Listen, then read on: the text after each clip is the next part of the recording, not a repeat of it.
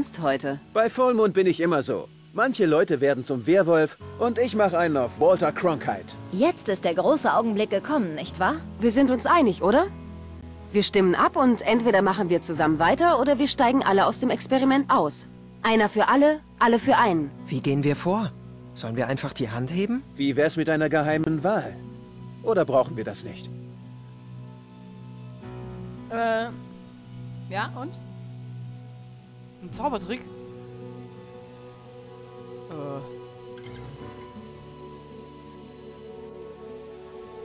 Äh. Äh.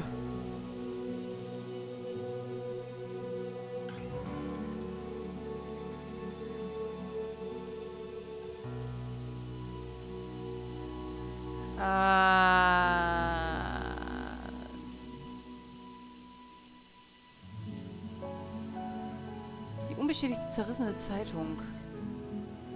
Kann ich auf jeden hier einen Zaubertrick anwenden? Das könnte nämlich das schon mal sein. In dem Fall brauche ich Papier, aber vielleicht sollte ich die erstmal anklicken. Moment. Dann sagt sie bestimmt wieder, oh, das kann ich machen, aber... Der Trick bringt in die... Nee, nee, der bringt auch nichts. Den will ich auch nicht. Ich will den. Der Trick bringt in... Nein? Äh, Ich glaube nicht, dass das hier... Ich glaube nicht... Der Trick bringt... Der Trick... Obstschale.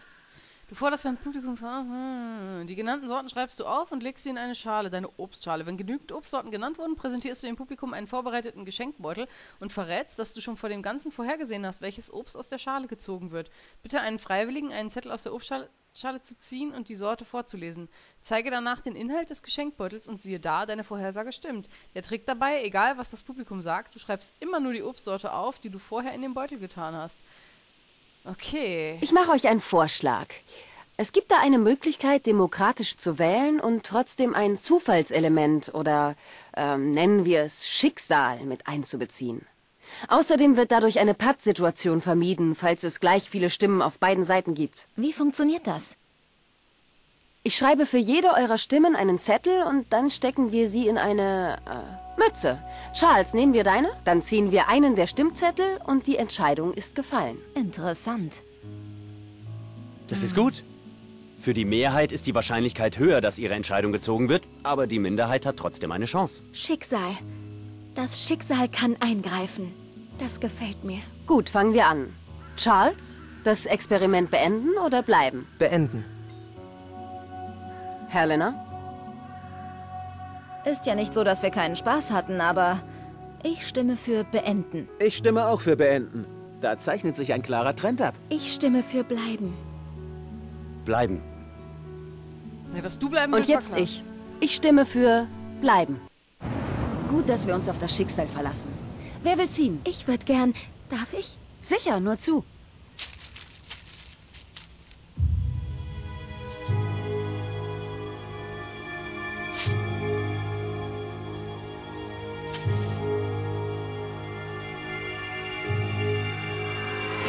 Bleiben.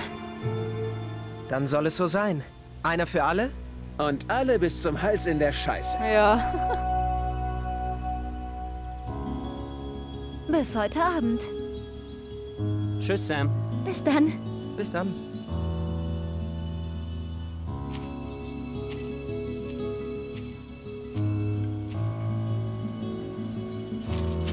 Hast du da was gedreht, oh großes Sam Mini? Es stand 50-50. Es hätte auch anders ausgehen können. Ich hoffe, du weißt, was du tust. Hab gar nichts gedreht.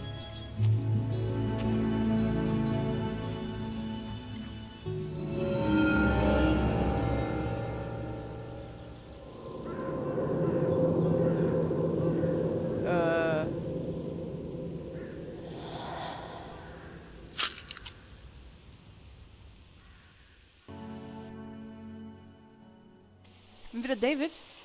Ah.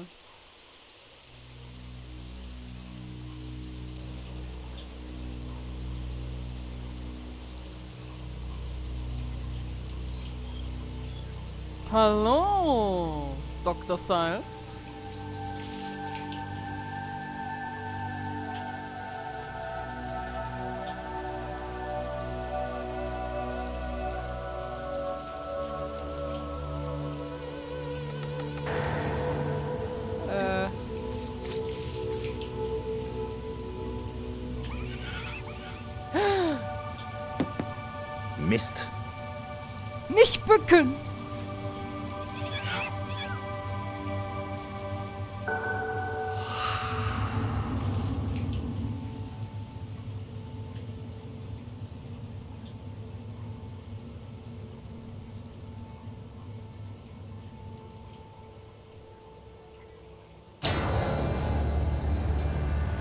Ja, genau, die Tür ist nämlich auf.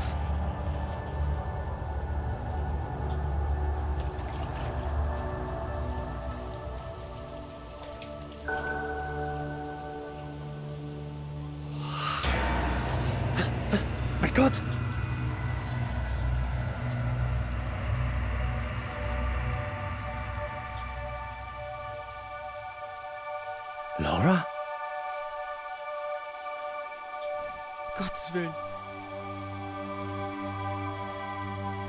Nur, um dich zu liebkosen, merkst du es nicht?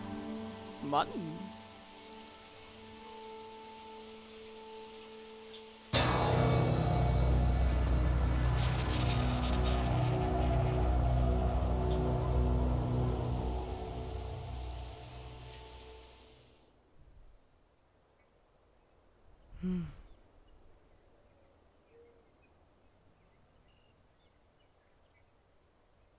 Ja, achso, ich darf schon. Äh, tja.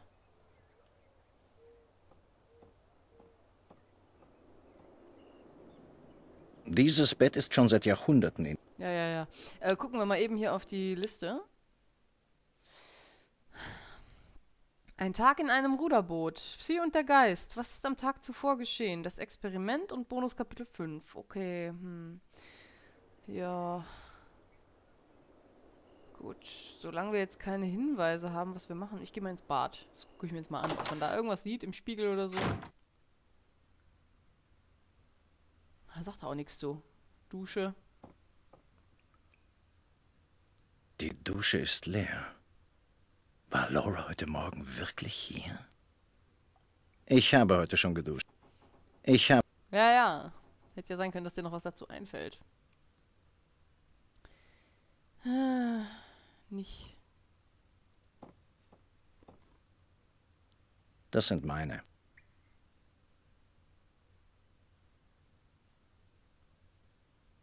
Hm, okay, hier ist irgendwie nichts. Schade.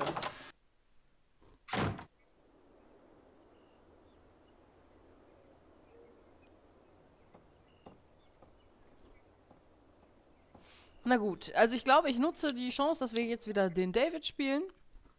Speichere an dieser Stelle und dann geht's beim nächsten Mal weiter. Wenn wir erkunden, ob Laura wirklich da war. Oder vielleicht auch nicht. Oder vielleicht auch doch. Man weiß es nicht. Wir werden es rausfinden. Irgendwann, ganz bestimmt. Äh, und wenn es noch 50 Folgen dauert. Haha. also, bis zum nächsten Mal. Tschüss. Hallihallo, Hallöle. Endlich geht Grey Matter weiter. So endlich ist das für euch jetzt zwar nicht, aber für mich war die Pause zwischen der letzten Aufnahme und dieser hier ganz schön lang weil ich auch ziemlich nachlässig war mit dem Hochladen und äh, hatte ziemlich viel gespielt, um das überhaupt erstmal alles hochzuladen. Und naja, auf jeden Fall ist jetzt alles oben. Beziehungsweise an diesem Part hier werdet ihr die letzten sechs, sieben Minuten von der letzten Aufnahme noch davor geschaltet kriegen. Äh, also habt ihr die gerade schon gesehen, wenn ihr das hier hört. Und äh, ja, wir haben aufgehört.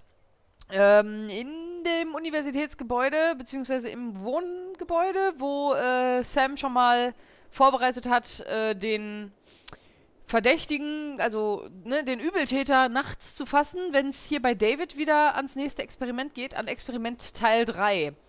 Ähm, ja, wir spielen jetzt wieder David und äh, im Hintergrund, falls ihr ein, ein äh, ja, so ein Rattern hört, das ist mein Degu, der gerade jetzt meint, er müsste im Laufrad laufen. Ich habe alles versucht, Bestechungsversuche mit Leckerchen und so. Ja, leider frisst er die zu schnell. Das reicht nicht für die Let's Play-Zeit. Ich weiß nicht, ob man es hört. Falls ja, tut's mir leid, er hört bestimmt gleich von alleine auf. So, ich weiß gar nicht mehr, was wir, ähm, was wir jetzt vorhaben. Ich glaube, wir hatten auch mit David noch nichts gesagt gekriegt. Das war's ja nicht. Ähm, nein, ich möchte hier die Statistik, genau. Wir haben noch gar nichts gemacht, genau. 0% insgesamt. Ein Tag in einem Ruderboot, Psi und der Geist. Was ist am Tag zuvor geschehen? Das Experiment und Bonus. Hm, ein Tag in einem Ruderboot fangen wir mal hier oben an eben. Gucken uns einfach mal um, ob irgendwas sich geändert hat seit dem letzten Mal, dass wir hier waren. Lauf, David. Der Balkon zum hinteren Garten. Ich habe ihn nicht benutzt. Ja, das hatten wir schon. Hier die Bücher. Hast nichts mehr gelesen, seit Laura weg ist. Ich lese die trockensten. Vielleicht im Badezimmer?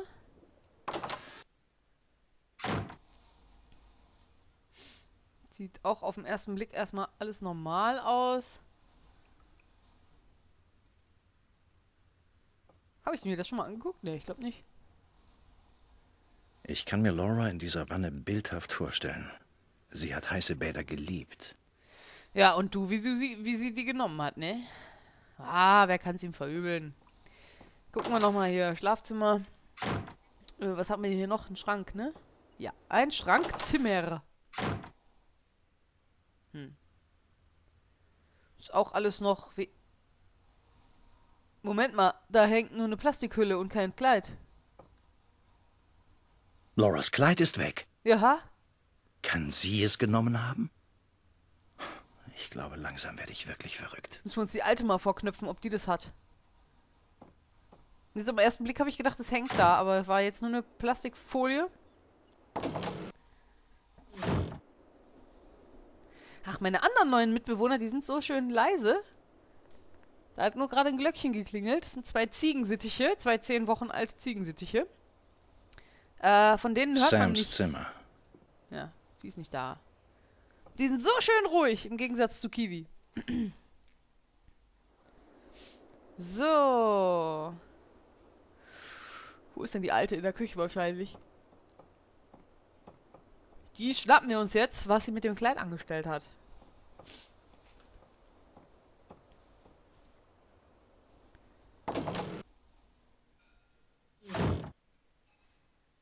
Guten Morgen. Hat Ihnen das Frühstück geschmeckt? Ja. Ist Samantha da? Sie ist in der Universität. Soll ich Sie anrufen? Nein, ich will nicht gestört werden.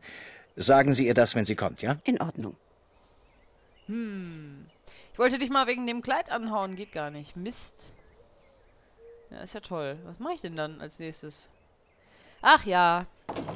Das Spiel ist eigentlich ziemlich kurz, aber wenn das jemand wie ich spielt, dann stehen wir hier ständig auf dem Schlauch. Ist das nicht schön? Let's Schlauch stehen. Ähm, ich guck jetzt einfach mal unten an meinem Gerät. Vielleicht ist ja die Nachricht, die wir von Laura kriegen, irgendwie erweitert worden mittlerweile. Ich weiß gar nicht mehr. I am war da ja oder im und äh, ich glaube ein L war schon als nächstes da oder bilde ich mir das jetzt ein? Ich meine, ein L wäre noch da gewesen, ne? Kann auch sein, dass ich mir das eingebildet habe, weil ich so oft. Hm.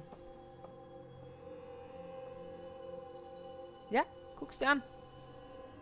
Impo. Was willst du mir sagen, Laura? Mach weiter, Liebste.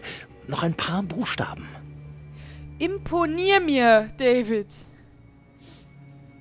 Meine Freundinnen im Jenseits sagen, du bist ein Schlaffi. Mist. Ja, ist toll. Hat das irgendwas gebracht jetzt hier? Ach, ich drücke mal auf das falsche Ding. Dahin. Ja, das hat was gebracht. Psi und der Geist, elf Punkte. Und Bonus auch. Hm. Vielleicht war der Bonus auch das mit dem Kleid. Ich hätte vorher nachgucken müssen. Naja. Äh, 10.07., 10 Uhr. Ja. Ja, es ist hier später als 10 Uhr. Ich bin schon wieder nur am Gähnen, aber das kennt ihr ja. Ähm, Samantha sah Laura am oberen Ende der Treppe im Foyer. Sie trug das weiße Kleid. Äh, Mittag. Laura nahm heute zum ersten Mal körperlich mit mir Kontakt auf, als ich unter der Dusche stand. Ihre Hand berührte mich und bewegte sich, als ob sie noch am Leben wäre. Mhm. Das Ganze dauerte ungefähr drei Sekunden. Tja, David, so ist das, wenn man lange nicht zum Schuss... Ge äh, Entschuldigung, es muss ja jugendfrei bleiben hier, ne? Ja, sie, sie hat ihn natürlich ganz vorsichtig an einer Haarlocke berührt, wenn ihr versteht, was ich meine.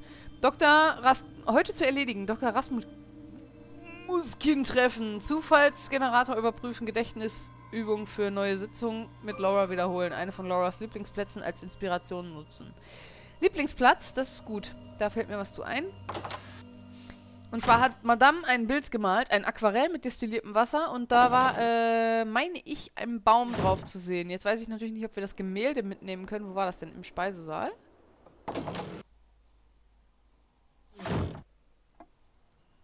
Boah, ich hab mich da, ich hab gerade gedacht, da steht einer. War nur ein Stuhl. Alles cool.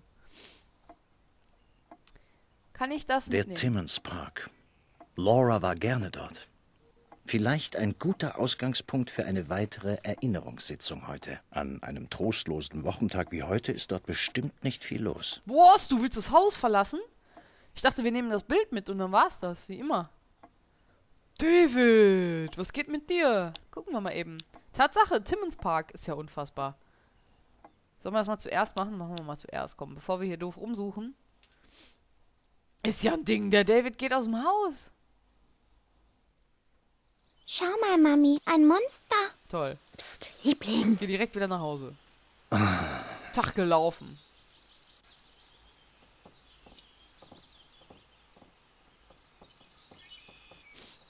Ja, spitze. Ich bin ein Monster. Nee, bin ich nicht. Eingangsschild. Im Park finden heute keine Veranstaltungen statt. Gut, dann wird dort nicht viel los sein. Jetzt ist eh egal, das Eis ist gebrochen. Achso, war hier noch sonst irgendwas? Ich glaube nicht. Lalala, hier ist irgendwo ein Sockel.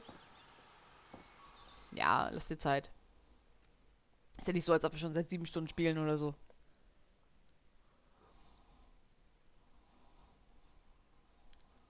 Mann, der rennt aber auch. Ich hoffe, das hört man nicht so doll.